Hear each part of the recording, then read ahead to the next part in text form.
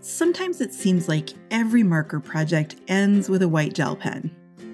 And I know it's a fast and easy way to add a little shine. But does white gel pen really make it look shiny? Or is this just a case where it's, uh, well, okay, you know, it's something that everyone does.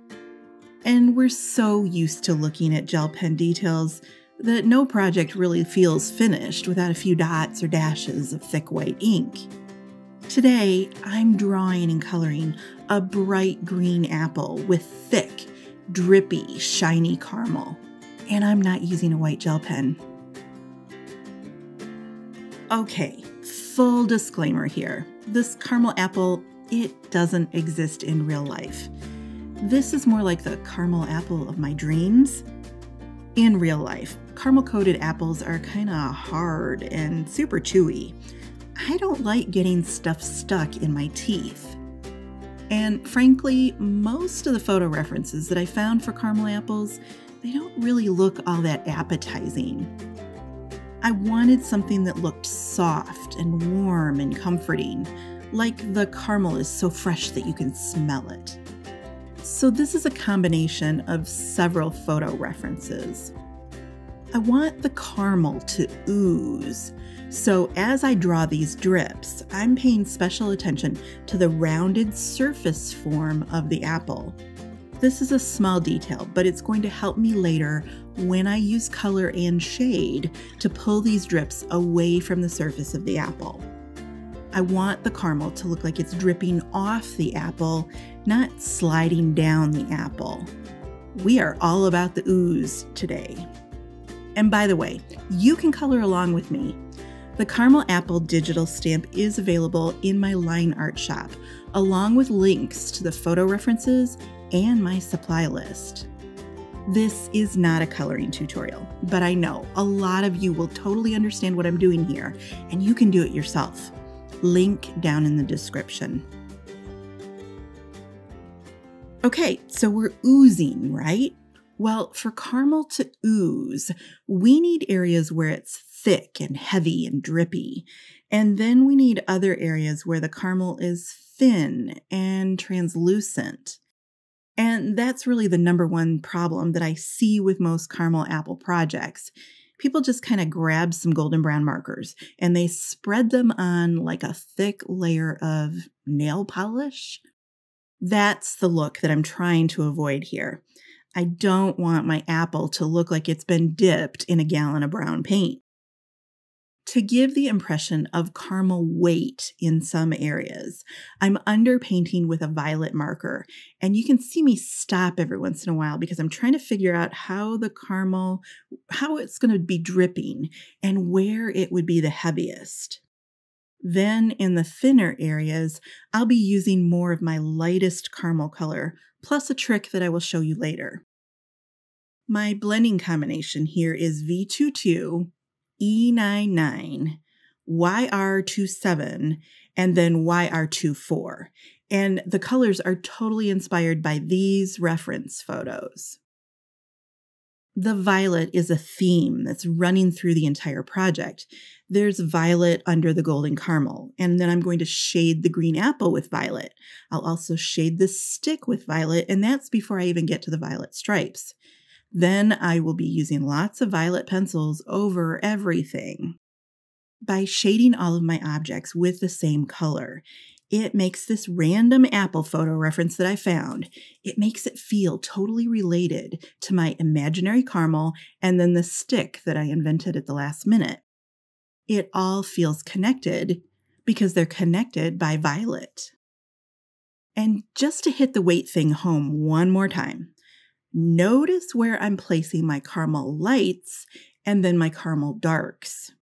The drips are heavy and they're almost ready to fall onto the table, so there's no light YR24 in the drips. The YR24 is mostly up at the top of the apple where the caramel is being stretched and pulled thin. I think too often we get dragged into this myth of shading everything on the left or always shading everything on the right, as if directional lighting is like the most important part of every project. It's not. Depth, dimension, and realism do not come from lighting sources. The roundedness of this apple is the most important part of this image. Form. Form comes first. And right after that comes the weight of my caramel. I'm expressing both form and weight in my coloring, and I really don't give a darn where the light is coming from at this point.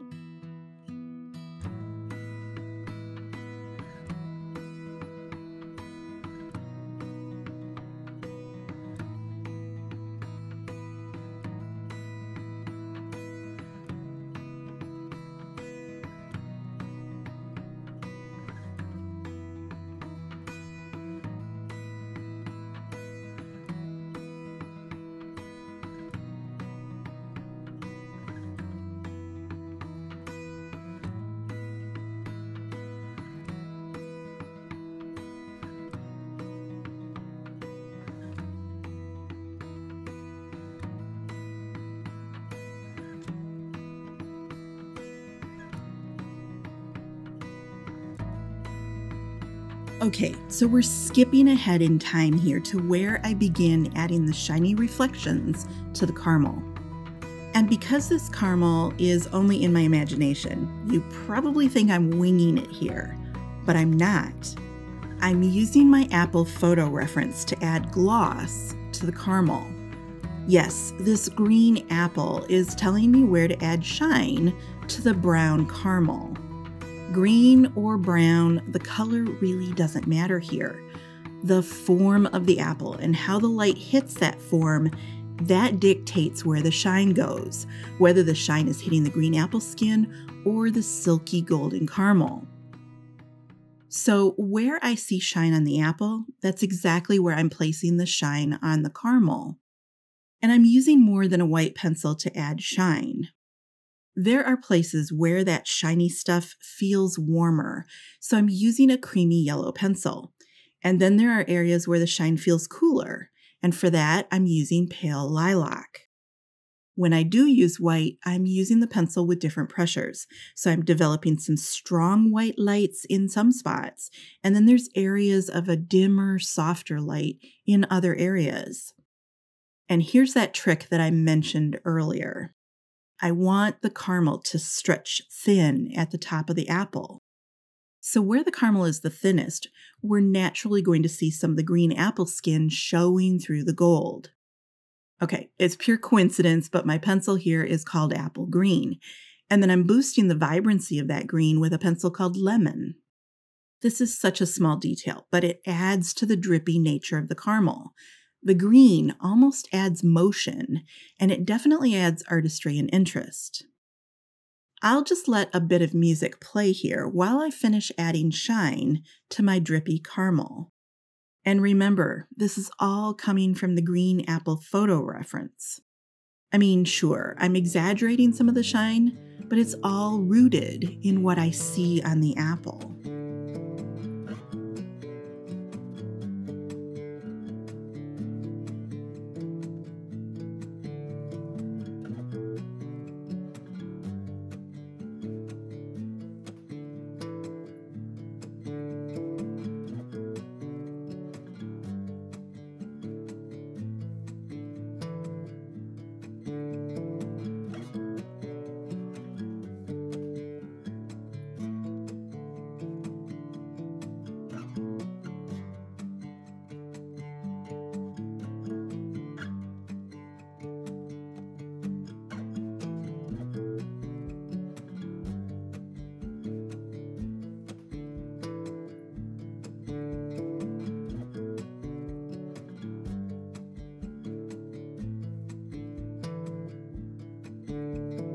I want to challenge you today. Some of you are so rooted in the idea that everything needs a couple of swipes of white gel pen to look shiny. If that's the case, take a walk around your house or walk around the place that you work. Look at the shiny objects in the world around you, and then really look at the shapes of that reflected light. And look at the color of that light too. Most things don't look shiny because they have three white dots or a semicolon on the right side. And for those of you who have already noticed how fake and flat white gel pen looks on your projects, well, I encourage you to get your hands on this pencil and start substituting it for your usual gel pen shine. As you get braver, you can start using photo references to create bigger and bigger reflections, but in the beginning, just switching the harsh white gel pen for something softer is a great first step. You've invested lots of money in your markers and your coloring supplies. You've spent lots of time learning how to use them. Now let's take that next step, moving past the swoops and the dots that everyone does to something that looks more original, artistic, and realistic. You don't need that white gel pen. You can do this. And hey, if you're ready to take that next step using crazy colors like violet and green over something totally normal like golden caramel brown, that's great. I've got a whole video for you here which describes where I find these alternative colors and how to choose unique pencil colors for your next project.